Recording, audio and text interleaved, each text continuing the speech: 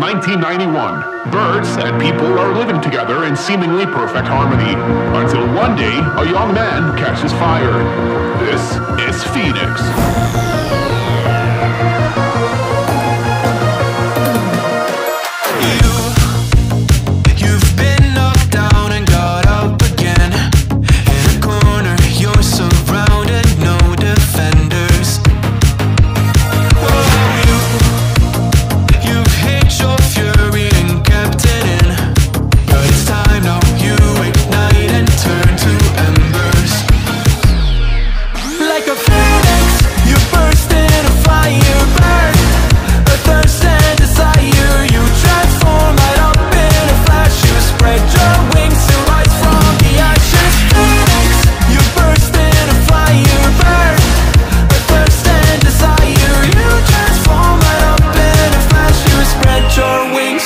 from the ashes.